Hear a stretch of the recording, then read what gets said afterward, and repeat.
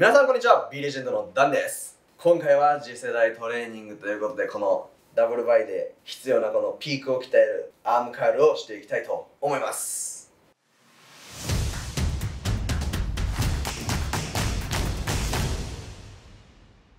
ビレジェンドの公式 LINE ではお得な情報などを掲載しておりますので、ぜひ気になる方は概要欄からリンクを踏んで友達登録よろしくお願いいたします。まあ、アームカール割と癖の少ないものを割とやるんですけど、これはちょっと癖強いかなっていうのは、今からやるピークを狙うようなアームカールになります。えっと、田中さんと僕が並んだ時に、ダブルバイした時に、僕は細かいトレーニングしてるからダブルバイした瞬間にちょっと膨らむように見えたのはあると思うんですけど、見せる筋肉と使う筋肉っていうのは違ったりするので、僕は重い重量は使えない分、見せる筋肉っていうのでちょっと鍛えてるんで、見せる筋肉っていうところに特化した内容になっています。早速やっていきたいと思うんですけども、今回使うのはこのインクラインベンチとダンベルを使ってやっていきます。まあ、ジムにはアームカール用のパッドみたいなのがあるところはありますし、まあ、ないところでも背筋のトレーニングをするところに実はここ合わせることができたみたいなああいうパッドがあるんですけどそういうパッドの代わりに結構ベンチを使うことが多いんですね。まあないとこが多いんで。でそのベンチを使ってやるやり方で僕がひとひねりしてるのが今から説明する種目になります。横向きアームカールです。やり方としてはこういう感じで横に向いてもうこの足の姿勢とかは自分の好きな方ような支え方でいいです。重りによって僕も姿勢は変わるんですけどイメージは体の横でぐーっとアームカールする感じです。でちょっと気持ち僕は小指ひねります。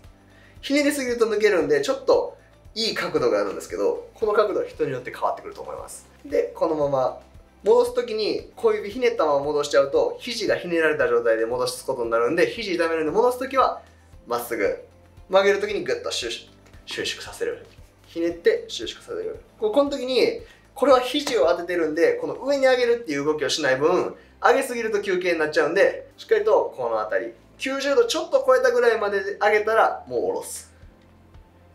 ここで止める。下ろす。止める。下ろす。結構僕はこうやってると足使っちゃったりするんでその時は足幅狭めてこういうもうね面白いスタイリングになってると思うんですけど。こういうやり方でやります。で肩がちょっと意識入ってくるなと思った時はちょっと形変えてまたやり直します。あこれが一番やっていうフォームを見つけてもらって。でこれ結構腕を置いてると肩上がった状態でやる人多いんですけど肩は胸張って落とした状態でキープしながらやってあげる